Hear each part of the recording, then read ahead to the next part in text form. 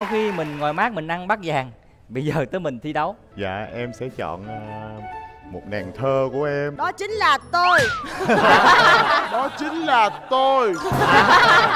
Đó là Hoa hậu Hoàng vũ Khánh Vân ạ.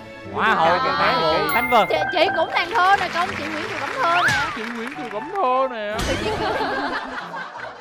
Vào năm 2020 một tài khoản cá nhân đã đăng tải câu chuyện của chú mèo của họ trên mạng xã hội rằng sau khi bỏ nhà đi 3 ngày chú mèo đã quay về và mang theo thứ gì?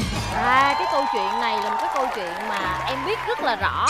Thì à, nhà này nuôi một chú mèo cũng rất là lâu năm rồi. Chú mèo vô tình làm một cái điều gì đó phật ý cho nên là chủ nhà đã la chú mèo đó. Và chú mèo đó cảm thấy rất là buồn rất là tổn thương và đã bỏ nhà ra đi mang theo về cái giấy nợ. Không biết đi đâu về đâu cho nên chú mèo buồn bã quyết định dừng lại một cái tiệm bán đồ ăn.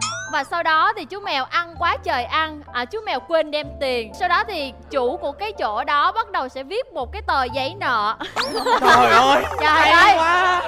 Vâng tiếp em tiếp cột vào cổ của chú mèo ấy và chú mèo ấy đem về nhà cho chủ.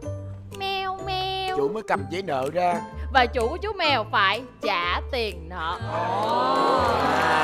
Và đáp án của em là? Dạ đó chính là một tờ giấy nợ. Một tờ giấy nợ. Vậy thì con đó đâu phải là con mèo. Chứ nó đích thị là con báo rồi. Nó đích thị là con báo rồi. Như mèo con ngắm ngắm trong chị ơi chị mình mặc đồ đẹp được rồi.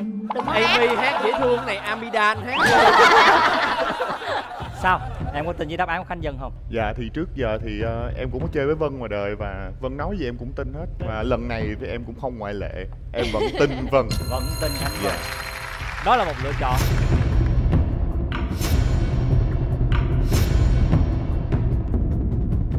Chính xác à? Yeah. đó là giấy nợ. Trong những ngày đi bụi con mèo đã lót bụng bằng cá nục chủ cửa hàng đã treo phiếu ghi nợ trên cổ của nó. Con mèo của bạn cứ nhìn chằm chằm vào những con cá nục ở cửa hàng tôi. Vì vậy tôi đã cho nó ăn ba con cá. Ký tên dì mây ở hẻm số 2 số điện thoại. Ba chấm ba chấm ba chấm. Trời ơi nó đi ăn những ngàn cá nục đàng hoàng nó ăn ba con. Và với lựa chọn này đã đem về cho thành công một dấu ít nữa. à.